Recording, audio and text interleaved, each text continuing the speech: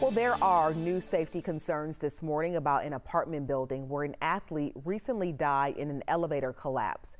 State investigators say boilers at 444 Highland Avenue in Atlanta have not been properly inspected, and state fire marshals will be there today, making sure the people who live there that they know about this.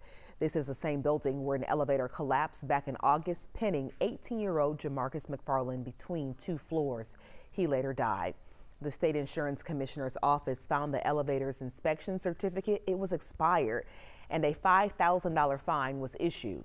Later, inspections found violations with the building's second elevator and its five boilers. And while both elevators remain out of use, inspectors found that one boiler was still in use despite state orders. People who live there, we talked to them and they said they had no idea this was all going on. I don't think it's fair, you know, to the residents that they are not keeping up with what they're supposed to. It's very dangerous.